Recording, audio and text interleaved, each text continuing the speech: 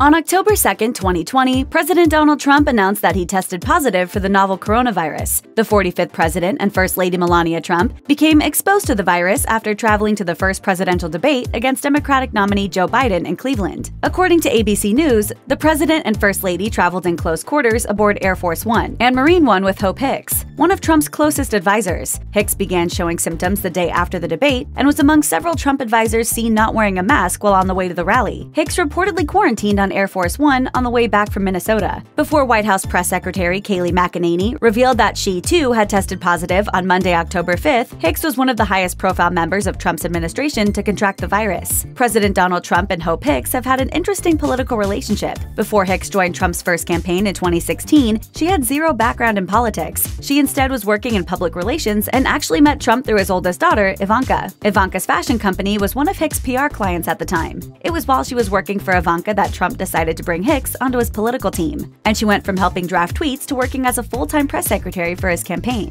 Hicks' relationship with Trump would then take a turn when she became the White House communications director after replacing Anthony Scaramucci in August 2017. She stepped down from the role in February 2018 after she admitted to the House Intelligence Committee that she sometimes told quote white lies as part of her job, but supposedly only about small matters. However, Hicks didn't stay out of Trump's political life for long. In February 2020, she returned to the White House to work with Jared Kushner as counselor to the president, working on Trump's communication strategy and re-election campaign. Hope Hicks took a pretty conventional path to the Oval Office. She was born in Greenwich, Connecticut, and modeled as a child. She eventually majored in English at Southern Methodist University near Dallas, Texas. She then went into public relations, working for a firm in New York City, which did work for Ivanka's fashion line and Donald's real estate company. At a victory rally in December 2016, Trump described his first meeting with Hicks. I said, What do you know about politics?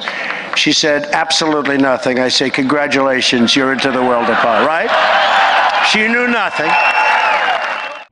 As someone with no political experience before becoming president, it's no surprise that Trump was charmed by this detail about Hicks. She has been behind some of the administration's most notable and controversial stunts, stunts that arguably those with more experience with political optics likely would have shied away from. For example, the New York Times reported that President Trump's highly scrutinized photo op in front of St. John's Church in the midst of a protest was Hope's idea. In 2018, Hicks was subpoenaed for a nine-hour interview regarding whether President Donald Trump was guilty of obstruction of justice. It was during this interview that Hicks admitted to telling white lies for the president. Apparently, she meant that she would lie about things like the president being in a meeting when he wasn't to get out of meeting with someone else, and claimed that she had not lied about anything more substantive. Hicks fared considerably better than many of Trump's other allies, like Michael Cohen or Rudy Giuliani, during questions like this, in large part due to her avoidance of the spotlight. When Hicks first exited the White House in March 2018, The Times reported that she had never given a single on-air interview during her tenure with the president, and in her role as communications director, Hicks also reportedly drafted both tweets and press releases, adopting Trump's unique communication style to do so. These qualities led her to become Trump's most trusted aide, with her desk among the closest to the president's in the West Wing.